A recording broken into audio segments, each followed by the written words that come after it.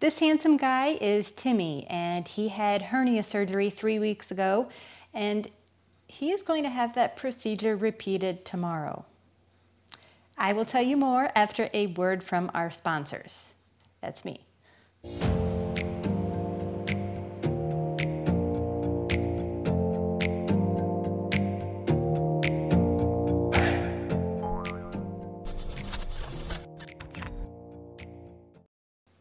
What's up, everybody? Welcome to yet another Timmy update. And you heard correctly, Timmy has to have another hernia surgery. So, for those of you who don't know, Timmy has a scrotal hernia, and his bladder, through surgery, we found out that that was protruding into his hernia. So, that is certainly something that needs to be taken care of, and we thought it was taken care of through generous donations from viewers. His surgery was possible, and he had that three weeks ago. And it was about 10 days after his surgery, and I had been checking him every day. And then my heart sank because I saw that golf ball sized mass was back. And it was bulging right on his suture area, and I was really concerned it was causing him pain. He was still eating and acting pretty normally. So we rushed Timmy back to the vets for an emergency same day appointment. And his veterinarian who did his surgery wasn't available, but there was another rabbit savvy veterinarian there that day. And they took a look at him and they said, yes, the hernia is back, but it was still reducible, which I found out that means that when you press on it, it will collapse back into the abdomen. I guess a non reducible one such as if the intestines were out there and you couldn't push them back in, that would be an emergency. He probably wouldn't have been eating, he probably would have been hunkered down in pain. So that would have needed immediate attention, but because this was still reducible, it wasn't an immediate threat to him. His veterinarian was really wonderful with being very forthcoming and honest.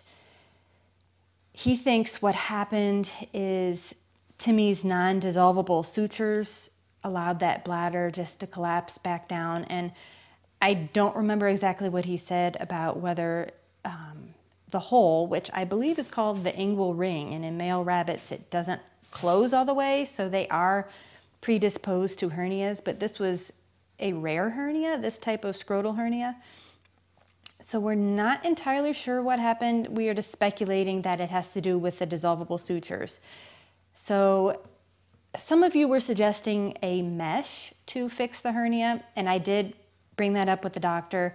Timmy's vet did consult with an area veterinarian who specializes a little bit more in exotics, and they discussed the mesh. And this other vet said, Look, I won't even use mesh anymore because there have been issues where it's had to be taken out of rabbits after having used it.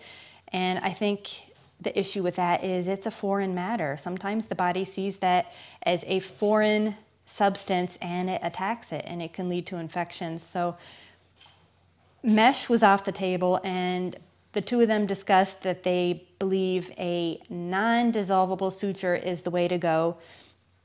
And Timmy's veterinarian generously offered to repeat this surgery at no cost. And he certainly didn't have to do that. I am very appreciative of that, and that's very commendable. He's definitely one of the good guys. I really like his veterinarian, and he said that Timmy did really well with the anesthesia the first time, and he was going to use the same plan, the same strength. I don't know how that works uh, this second time. And hopefully, since he responded to it so well the first time, that will be the case this time as well. That was what I was most concerned about because I have been told by several vets and by a lot of people who have had rabbits with surgeries that that is the tough part is the anesthesia for rabbit although i'm nervous for timmy and i really don't know what to expect as far as any discomfort or issues that could arise from the non-dissolvable sutures i know that his hernia with his bladder protruding into it needs to be taken care of because it will become an emergency at some point. and with both doctors agreeing on the course of attack that does give me peace of mind. So check this out. Yeah, this is like a little bunny onesie. One of my viewers here suggested this because they didn't give Timmy the cone of shame, you know, the cone that goes around his neck to keep him from pulling at his stitches. And he was very good with them. They were glued on the outside, I believe, or they were non-dissolvable. But either way, he didn't bother them. But I didn't know if that was going to be the case this time. I don't know if they're going to use a different um, type of suture on the exterior. So this is a little bunny onesie for post-surgery. They do make post-surgical wear for rabbits.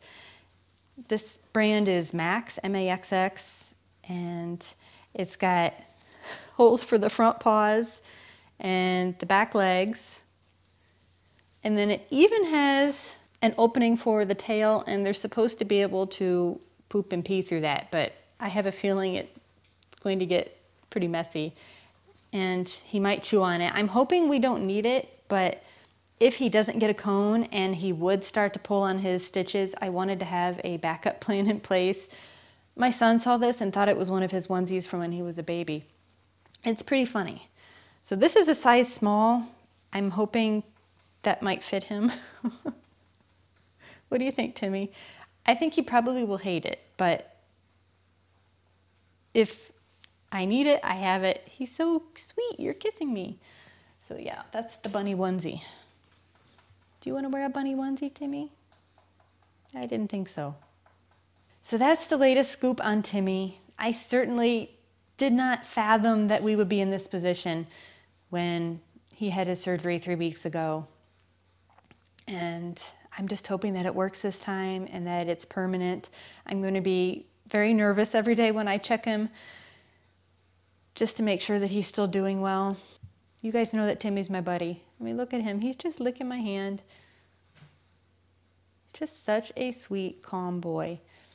Hopefully everything goes well tomorrow and thank you again for all of you who are so concerned about Timmy. I will update you guys probably through the YouTube community tab or maybe I'll post on Instagram or Facebook, but I will let you guys know how things go. Thanks for watching.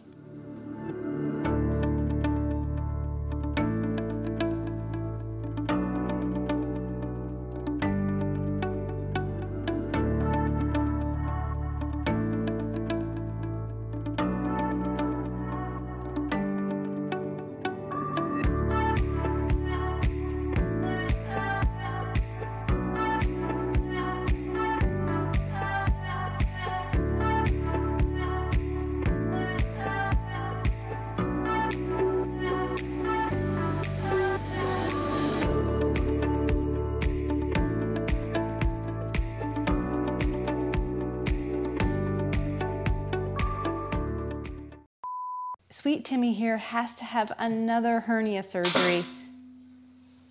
Camilla. She's under the table. Hi, Cammy. There go the dogs. The dogs are barking. I don't know what they're barking at. We'll just wait for them to stop barking. What was I talking about? No, I forgot what I was talking about old age. That's what happens, Timmy. So that's the latest.